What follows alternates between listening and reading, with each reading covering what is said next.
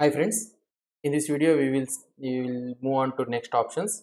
We have seen in the previous video all the strict options we have seen right.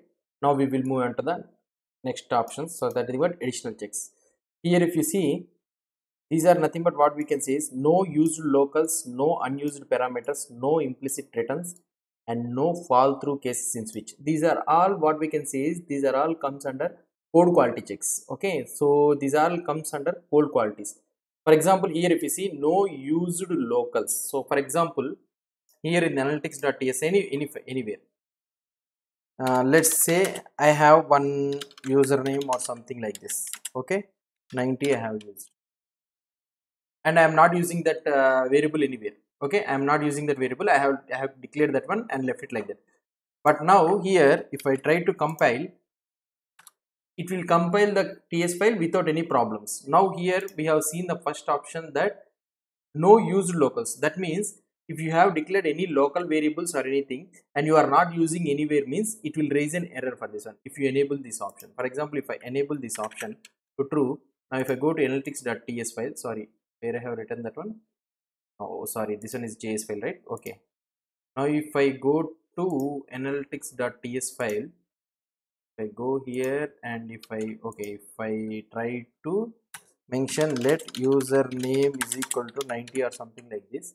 And now we got an yellow line something like that showing an error. If you move over here username is declared but its value is never read. Okay we got an error here.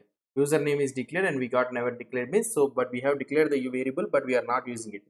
So this error is this warning something like warning. If you try to compile this file you try to compile this file so the uh, compiler will not compile and it will show an error that username is declared but it value is never declared. but we are not we have not written anything just we have declared the variable but we are not using. So in order to get the unused variables whatever you have used so to know the errors for that one you can enable this option. For example if i if i disable this option and if i go to analytics the here the error will be gone away.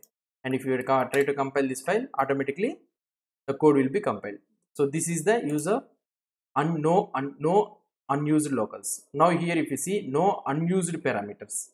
Okay in the same scenario no unused parameters. For example if i go to main.ts file here we have a function and here i am using age uh, for example here itself something like message string we are using. But here we are not using anywhere the message function message this message variable we are not using anything in the function.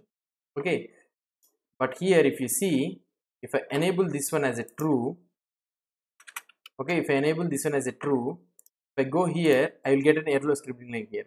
Why? Because this this function we have used it uh, to send an argument to this function but we are not using this message anywhere. We are uh, it is it is stealing that one. So this error is coming only because of we have used that no unused parameters. So if you have any parameters that are you are not using in the function so the, if you make it as true it will generate an error. Okay so this one is one of the option. And here if you have another one you can see is no implicit returns. What is this no implicit returns means? What we can say is about this implicit returns. Here if you go in this implicit returns if you see if you, uh, implicit returns is nothing but uh, we have a function here. Okay we have a function. And in this function what we can say leave this function. We will write a new function uh, so that the explanation will be clear. So i have n1 colon number. I have an n2 colon number. Okay? I have a function that is nothing but sorry i forgot to give the uh, name. So add, add function n1 number.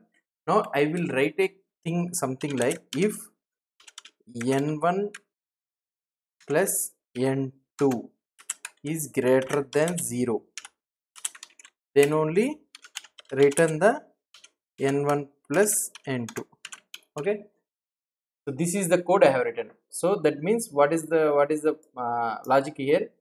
So the function add parameter add function is taking two parameters and that n1 and n2 and this n1 and n2 what it is doing? So if n1 plus n2 addition of these two numbers is greater than 0 only then return this n1 and 2 if it is not greater than 0 what it is having? We are not mentioning any return but this function what it is uh, giving so it is not throwing any error right?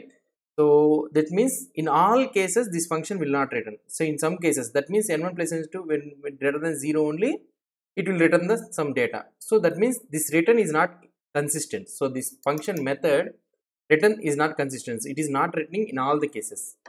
So but we here in the TypeScript compiler it is not showing any error if you want to show errors in this type of things so you can use this no implicit returns. If you enable this option now automatically what it will do is you will get an error here. In this method you will try to you will get an error. See here you have for add thing you will get an error. So this is telling that this code paths return a value not all code paths return a value. So it will check all the possible ways and it will it is telling that in some in some ways it is not returning in all the in all the scenarios it is not returning using so in this scenario what we need to give if you have any logic or something else you will say simply say give one empty return. So now this add function is not throwing any error okay? So this is nothing but the implicit returns. So no implicit returns. So if you make it as a true so it will make sure that in all the scenarios the function will be returning something okay? So this is the thing. And another one is no fall through cases in switch. Fall through cases in switch means so it will say that uh, so switch statement it will give the switch statement error. So if you, if you forgot to mention any break or anything means so it will try to tell you the uh, error error it will, it will try to tell you that break statement is missing and all those things it will try to give you the error. And these are the additional checks. These additional checks is nothing but what we can do is so in order to increase the code quality we will be using this additional checks. We have seen the no use unused okay unused parameters no implicit returns we have seen right? This is the additional checks. And here if you come here uh, mo module resolution options. These are all something uh, uh, comes under advanced features. So most of the times we will be not using these all the things. So we will leave it like this only. So this is out of the concept for us discussion. Source map we have discussed the source map how to generate the source map and all those things. For these configurations this thing most of the times we will keep it like the default only. The rare cases we will be changing. So it's better for us do, no need to change these all the options. And here you will be having another thing something like experimental options. Experimental options and you, you can see here experimental decorators and decorators meta seeing. So we will these uh, see these things when we when we cover the decorators thing in the uh, typescript uh, in, in in this course only we will see the decorators concepts and in this concepts we can see this one. So this is the experimental support for es7 decorators. So es7 has the decorator support. So experimental support this one is doing. So if enabling this one may raise some what we can say code inconsistency code errors and all those things. Why? Because these are all experimental options. So we will discuss about these decorator things in the uh, future videos.